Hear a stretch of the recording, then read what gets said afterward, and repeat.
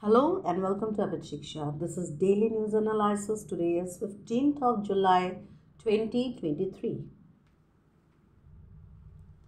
Today's top news includes India's third lunar odyssey commences with perfect launch. Success of Chandrayaan launch vehicle gives Gaganyaan a leg up. Prime Minister conferred highest award of France. Jaishankar stresses zero tolerance approach on terrorism. Justice Ujjal Bhuyan takes oath as Supreme Court judge. Goods exports slide 22% to 8 month low. Skill India project successfully revives the dying Namda art of Jammu and Kashmir. To get the PDF of today's news analysis, please join our Telegram channel. The link is given in the description box. India's third lunar odyssey commences with perfect launch. India's third moon mission, Chandrayaan 3, was successfully launched on board a launch vehicle Mark 3 LVM-3 rocket from Satish Dhawan Space Center in Sriharikota at 2.35 pm on Friday. This is India's second attempt at soft landing robotic instruments on the lunar surface after previous attempt. Chandrayaan 2 failed in 2019. Thus far, only three countries, the US, Russia and China have successfully soft landed on moon. ISRO chairman S. Somanath said the next 42 days are crucial. The landing is currently planned on August 23rd at 5:47 p.m. as Indian Standard Time if everything goes as per plan. Success of Chandrayaan launch vehicle gives Gaganyaan a leg up with human rated launch vehicle mark LVM to be used for upcoming Gaganyaan mission. The LVM 3's successful launch of Chandrayaan 3 on Friday gained further significance and it has enhanced the reliability of the launch vehicle.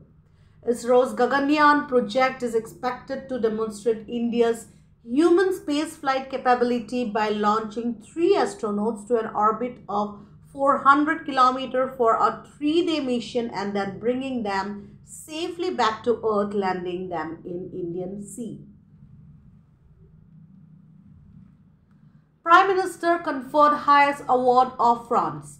Narendra Modi has become the first Indian Prime Minister to be conferred the Grand Cross of the Legion of Honor, France's highest civilian and military honor. With this, Modi joined the ranks of world leaders such as former South African President Nelson Mandela and former German Chancellor Angela Merkel, among others.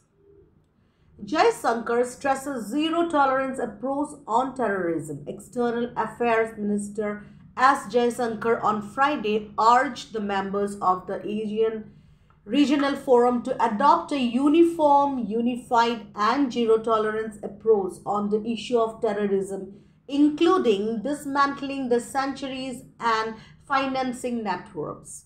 Addressing the ASEAN Regional Forum ARF ministerial meeting here in the capital of Indonesia, he underlined that India was responding to global challenges by promoting global cooperation to counter terrorism.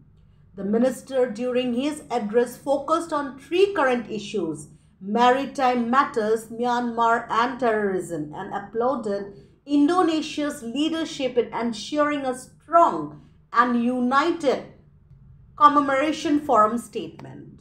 On maritime issue, Jaishankar stressed the primacy of UNCLOS 1982 and support for ASEAN's position that it is the basis for determining entitlements. Justice Ujjal Bhuyan takes oath as the Supreme Court judge. Justice Ujjal Bhuyan of Assam on Friday administered the oath of office as a judge of the Supreme Court by the Chief Justice of India, D.Y. Chandrachud. The Chief Justice of India also administered the oath of Justice as Venkatanarayan Bhatti. Good exports slides 22% to 8 month low. India's exports have declined over many months now due to slower demand from the US and Europe.